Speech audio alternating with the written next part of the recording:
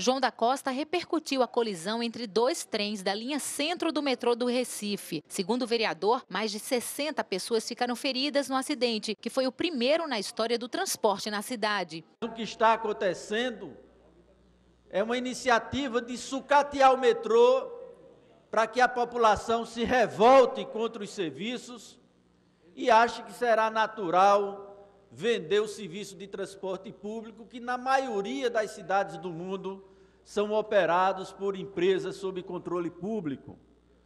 Porque na maioria delas são transportes subsidiados.